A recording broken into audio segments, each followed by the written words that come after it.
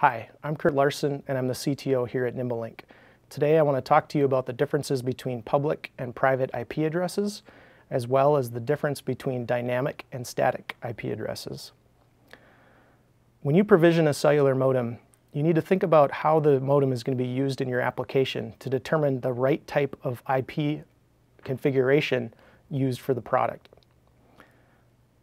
A private IP address is not reachable by anybody on the internet other than devices within its own private network. A public IP address is reachable by anyone on the internet.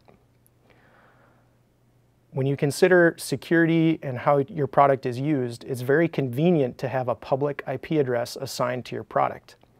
However, that means anybody in the world can access your product remotely.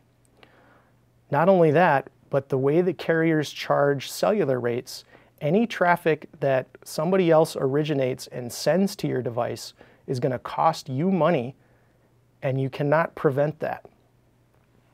A private device, on the other hand, is typically put within a virtual private network inside the carrier's network, and this protects your device through routing rules from external traffic.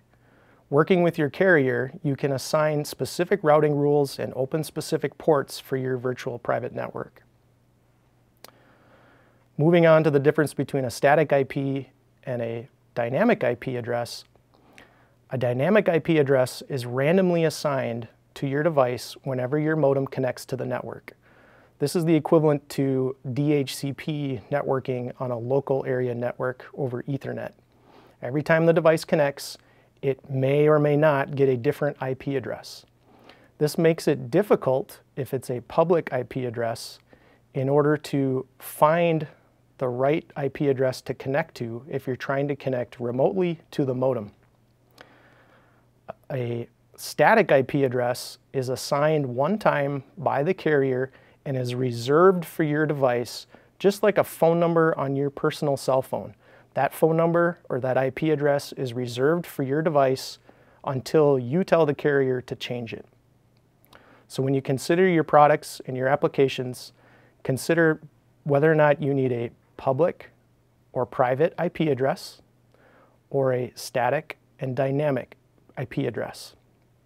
For more information, please visit our website.